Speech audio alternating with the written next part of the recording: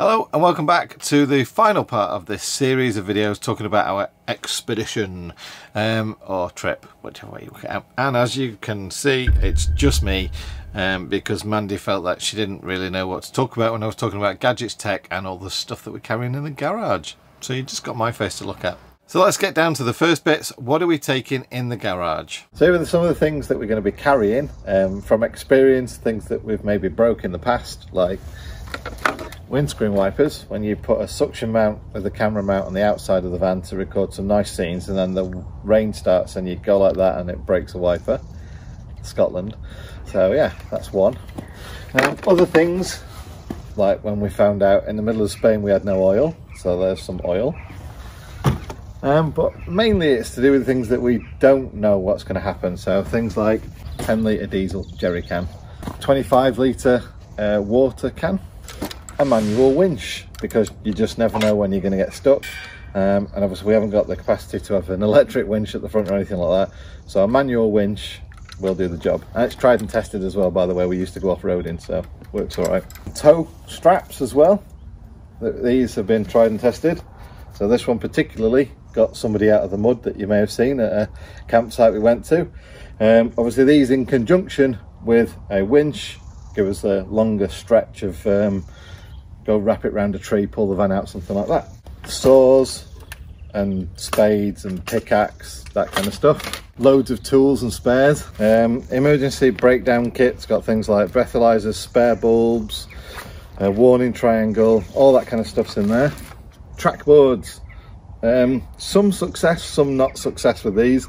If you're well stuck in the mud, they're not going to get you out that well. Uh, but they are good at carving your way through the mud um, to actually like a big spade or a shovel um, or you can use them as a bridge over you know ruts in the road or something like that. And then we move on to other things water filtration. So if we are ever in a place and we're stuck for water um, Berkey we've got some spare candles for it as well. Put the water through there and it gives us five litres of fresh water in around about four hours or something like that. Um, but yeah that's more than enough for lakes and streams and stuff like that to take all the, the crud out of the water and um, get some nice drinking water afterwards. Uh, then we've got other things like tyre repair kits, so if you get a puncture, we can bung the puncture. Um, all sorts of other stuff, you know, litter pickers, knives, all the usual stuff you've seen us use in the past, we've got that as well. Got the bikes. Um, another little thing that I think everyone should carry, carabiners. A lot of the people ask us now and again, um, do you go rock climbing? No, we don't really go rock climbing. And these actually say not for rock climbing on them because they're soft aluminium but they're great for strapping things down in the boot or strapping them in the van. We've got these on everything including cooper's leads and everything so you get somewhere and you strap it round and it's done. Um, so all sorts of little things like this really useful to carry. So because the government couldn't get the message right between the dvla website and the government's website about travel we've gone for both.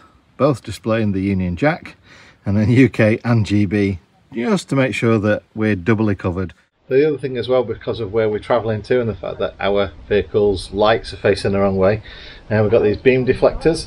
I've got these to stick on the lenses, but what I've also got are these plastic lenses. And these clip on, and what I'm going to do is a separate video on this, just to say, with the plastic lenses, they come with these black reflectors. So are the black reflectors better than beam defenders? And also, because these are marked where you install the black deflectors, the black deflectors, not defectors. Defectors, they're defecting, running away. Um, hopefully it'll give everybody an idea of exactly where they're supposed to place these, because I think everyone gets a bit confused with that one. So yes, in a video coming soon, I'm going to test these to see which is best. So, everyone knows how cold I get. So after seeing these jackets being modelled by the lovely Em and Lou on Camper Vibe, we thought we needed some too. Because in this little pocket here is a little pack, battery pack, and you plug your jacket in. And why would you plug a jacket in, you may ask?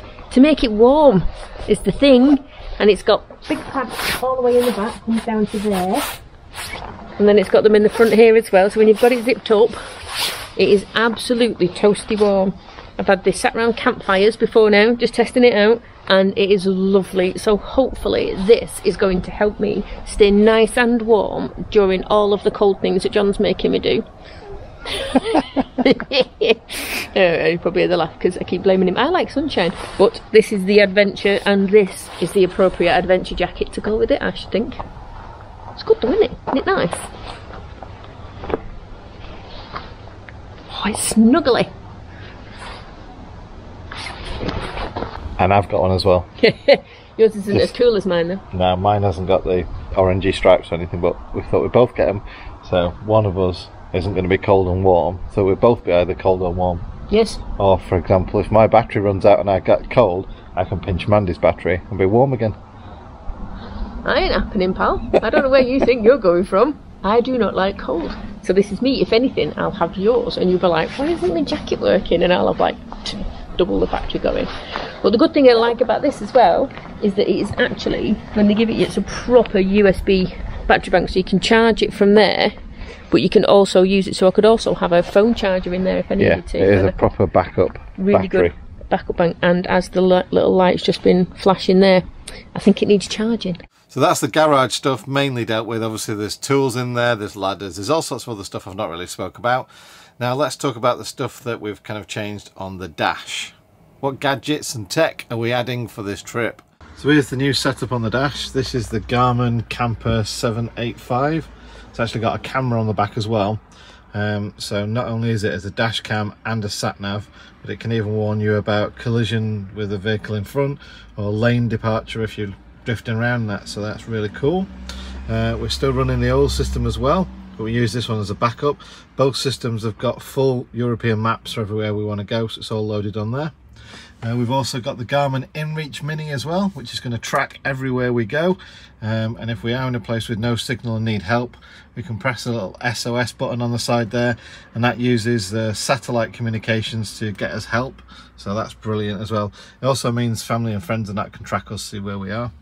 And uh, we've also got a, um, a nice little CB radio installed as well, with an aerial on the roof so we can keep in touch with the other people on our convoy as well. And that's just down there on a clip so that's out of the way.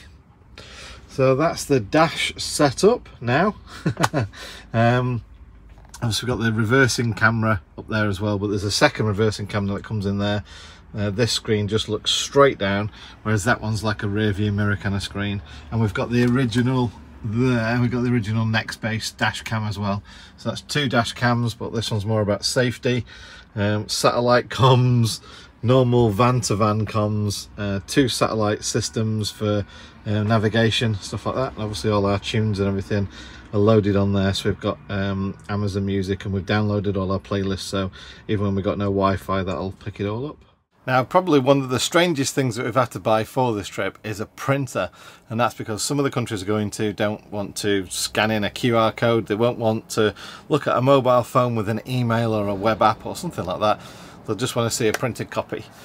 So, because things change as we're out there, uh, we needed to be able to print things wherever we are. Some countries that's going to be great, some of the times you need to be in a big town or city to find places that you can print and we want to try and avoid that as much as possible on our trip.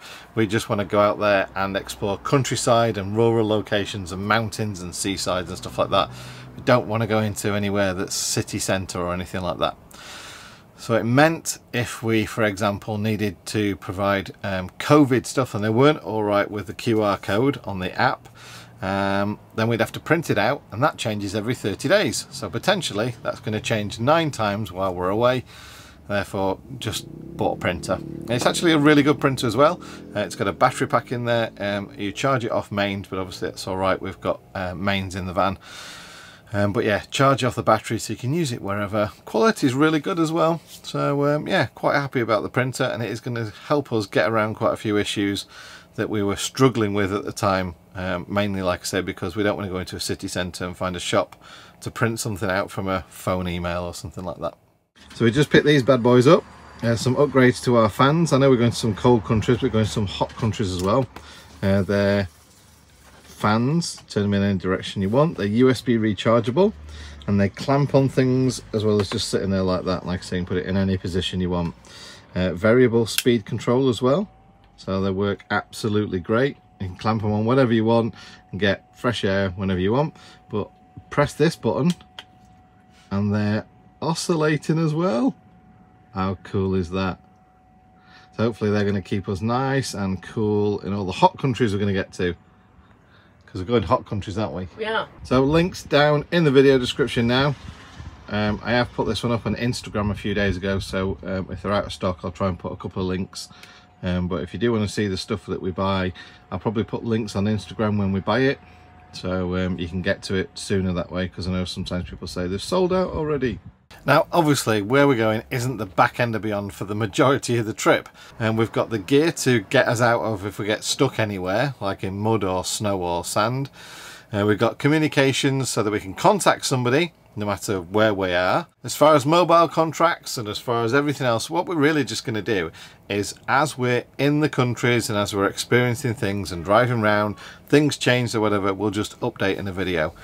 As we drive around and we deal with you know, borders and pet passports and things like that, then we'll update all that in a video as well. So we're just going to log everything that we find that's going to be useful to you guys fuel prices, the availability of LPG, all that kind of stuff will all be in our regular vlogs that are going to come out once we actually start traveling. So to make sure you don't miss any videos, do make sure that you subscribe. Ding that little bell that pops up when you subscribe and click on all notifications so that hopefully then YouTube will let you know when we put a video out and you won't miss anything that's going on. Right, thanks very much guys and um, hopefully next time you'll see us both together. She is coming, I promise. She's just taking Coop out on the beach at the moment.